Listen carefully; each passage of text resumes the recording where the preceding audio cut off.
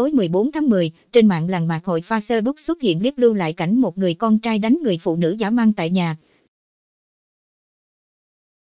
Theo hình ảnh trong đoạn clip, người phụ nữ bị người con trai cao to, giảm dở túng tóc, thì đầu xuống nền nhà rồi tác thậm chí đá thẳng vào người nhiều lần nghi do khen tuông. Lúc này, người phụ nữ đã nhiều lần gian nài nhưng không được.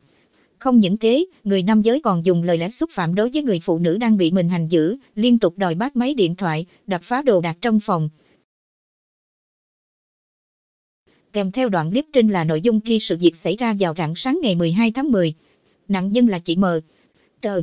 Giờ 26 tuổi, chủ một tiệm ba trên phố Lương Khánh Thiện, quận Ngô Quyền, Hải Phòng, và người hành giữ là y chưa đăng ký kết hôn, tên huyện Đờ. Tờ. Do bị chấn mính rất nguy kịch nên gia đình đã đưa chị giờ đi cấp cứu tại Bệnh viện Đa khoa Quốc tế Hải Phòng lúc 7 giờ 30 cùng ngày ngày 12 tháng 10 và đã được chuyển lên tuyến trên điều trị. Gia đình nạn nhân giờ đã yêu cầu công an quận Ngô Quyền vào cuộc điều tra. Ngay sau khi clip và nội dung trên được đăng tải trên mạng làng mạc hội Facebook đã có rất nhiều người căm thù trước hành vi hành giữ phụ nữ của người con trai. Nhiều người bày tỏ quan điểm, dù người phụ nữ có gây ra tội ác gì cũng không nên dùng bạo lực để giải quyết vấn đề.